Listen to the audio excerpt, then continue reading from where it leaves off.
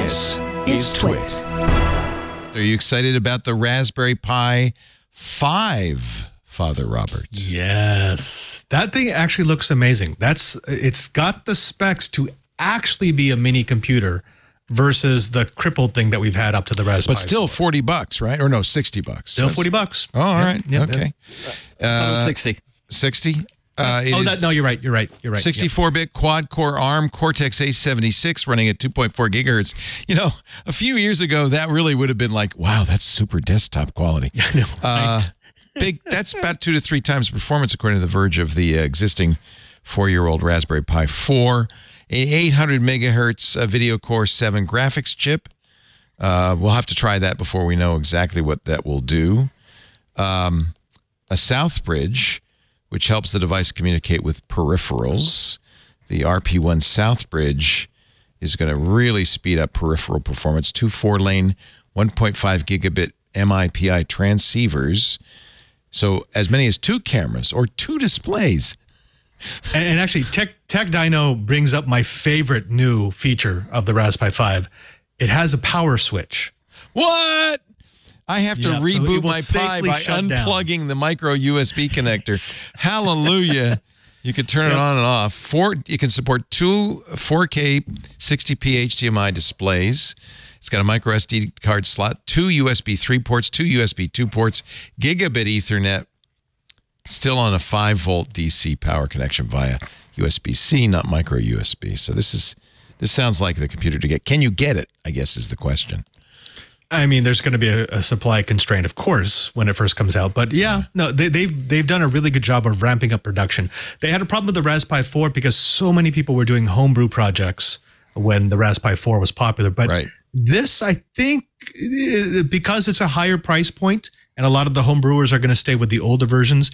This will be more for the people who actually want to do some higher end computing. They've got a broad range now from from the base Yes. Raspberry Pi to the four, and they it's really good what they what, what you can do. And you should get the one that's right for the job you need. And maybe that's not a Raspberry Pi. Maybe that's an Arduino. I hope people will, you know, pick the right one so we can all get ours. Uh, pre-orders now, uh, shipping late this month in late October. Yeah. Uh, can I ask a question of Robert? Just since uh, I'm a podcast host and I tend to do that when I ask questions I too. insist. Does, does does this does does this version with Raspberry Pi 5 bring it to a broader audience? Because it's always felt like anybody that I talk to that's really into Raspberry Pi is also into, or it, it's like it's it's a it's a niche audience that is really really into it. Like Right. the old joke of like, how do you know if someone's into Raspberry Pi? Like they'll tell you. Like, yes, yes, and no. And what I mean is this: uh, so um, it will be a much bigger audience on the secondary market. So those people who are going to be taking these, putting them into cases, and maybe bundling it so that it, it comes as a computer that you can turn on on your desk. So that's where it really widens the market. But but you're right. Most people who have been using Raspis are a bit more on the geeky side. They're a bit more on the tech side. They love building things that do odd actions with stimuli. Um, this this is probably overkill for that. So most of the projects that I've used a Raspberry Pi for, this would be way, way, way too much. Maybe I could use this for a Tor machine. Maybe I could use this as a storage server uh, um, uh, motherboard. Maybe I could use it for my VPN. But all of the other stuff that I've got running on Raspberries here, this is way too much computer. Well, I remember you showing us on Know How to use a Raspberry Pi for a Pi hole. I would think this would be a Yeah. great Pi hole machine. Is it overkill? A, a Pi hole, a, an access point, a VPN. So anything that requires a lot of complex computations, And this is great. But like for example, this screen, it, it, all the all the signage around the Curia runs on Raspberry Pis that I've installed. So Oh, I you're have kidding. centralized control. Oh, that's no. great. So, but I, I don't need a Pi a Phi for that. In fact, this is running on a Raspberry two. I yeah, think. yeah, it could be a three or a B. Yeah, yeah, yeah.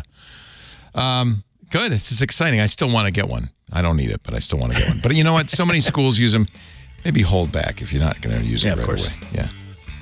Come join us on This Week in Enterprise Tech. Expert co-host and I talk about the enterprise world, and we're joined by industry professionals and trailblazers like E CEOs, CIOs, CTOs, CISOs, every acronym role, plus IT pros and marketeers. And we talk about technology, software plus services, security, you name it, everything under the sun. You know what? I learn something each and every week, and I bet you you will too. So definitely join us. And of course, check out the twit.tv website and click on This Week in Enterprise Tech. Subscribe today.